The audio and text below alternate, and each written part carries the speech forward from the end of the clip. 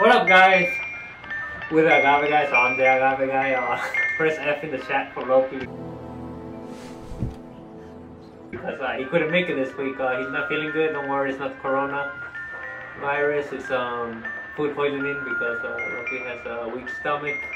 But uh, this week we are gonna review. I'm gonna review um, the Patron Cherry Cask. Let's get into the review. Before we get uh, started the review, I would like to thank you guys. Uh, we hit 50 subs. Awesome. Like, that you like to see that you guys are enjoying the video. So again, we are trying to review unique tequila. So and um, let's get started about some fun facts about the Patron Cherry Cask. Um, according to Patron, they age it in Oloroso cherry casks for two years. Oloroso, that means smelly, which I think it's a romantic name for a tequila. But um, what is that? Uh, the Oloroso cask is a whiskey cask that ages um, Spanish wine, which is the Oloroso wine, um, the Oloroso cherry wine, which I have no idea how it tastes because I've never had it. I'm not really into wine.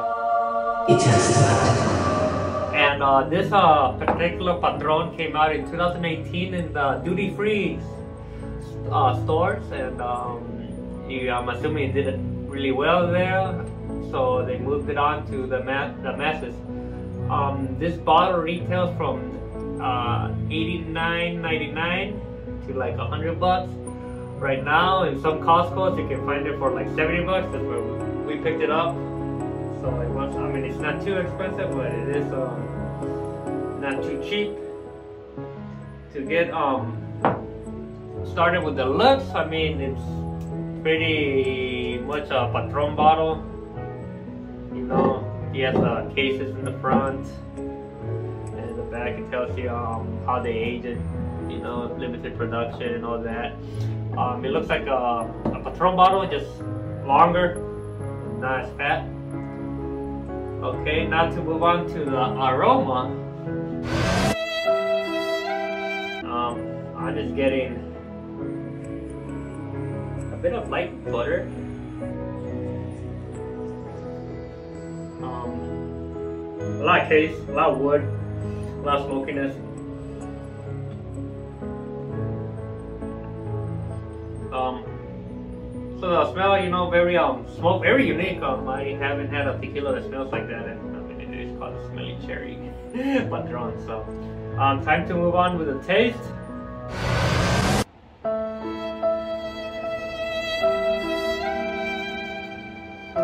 It's about drive, it's about power. We stay hungry, we devour. Put in the work, put in the hour. No notes of agave, heavy notes of barrel. Welcome everyone. We are the Agave Guys. Today we're going to be reviewing Don Julio of 1942. My name is Lope. Very small hints of caramel. Um, not getting a lot of agave in this one. Mostly, um, it's good. You know, it's unique. Um, not getting much agave. You know, vanilla. A lot of um smokiness. They should call this one the don't smoky like the other one they have. Overall, very unique. Um, it tastes like um, like a barrel. Um, I didn't get any hints of agave on that. Uh, let's uh, move on to our review part of the video. Um, for the looks, I gotta give it out of 10, like a 6 out of 10. I mean, it's just a, I'm a fan of the Patron bottle, you know, it's like, when people think of high-end tequila, the first thing they come to think to is the Patron bottle, you know, nice cork. Um, the uh, glass looks like it's um, old school glass, like they blew, they it up. Um, it says Patron, I mean it is just a Patron bottle by, by it being longer. So overall, 6 out of 10 for the looks. um, the price isn't too bad. Um, at 90 bucks, I think it is kind of expensive, but if you can pick it up at 70 bucks, that's pretty good. And um, so for the price, I have to give it probably like um if you're picking it up at night at uh, eighty dollars, I mean ninety dollars, I have to give it like uh, probably like a six because it is aged for two years, so you have to take that to effect to the price. So I'm gonna give it a six out of ten for ninety dollars, and if you can pick it up at um, seventy dollars, I'm gonna give it a seven point five. I mean, it is um very unique. I mean, this is the only tequila that tastes like this, you know. So it's very unique. So if it, you can pick up a seventy, I'll give it a seven point five. And um, for the taste review, I, I mean, I don't know what to compare it to. Um, it is pretty much like drinking a barrel and wood.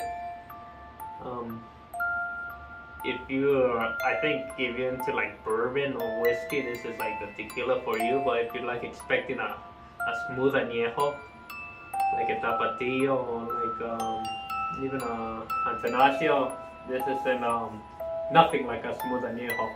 Overall, the taste was unique. So for the taste, I'm gonna give it uh, 6.8. Um, again, I didn't expect it to taste like that. I expected it to be like uh, an añejo, and it didn't taste like an añejo. So that was our review for uh, the Patron Cherry Cask. Um, let us know if you um, tried this tequila before. Um, don't forget to like, comment, and subscribe. And I'm Manny.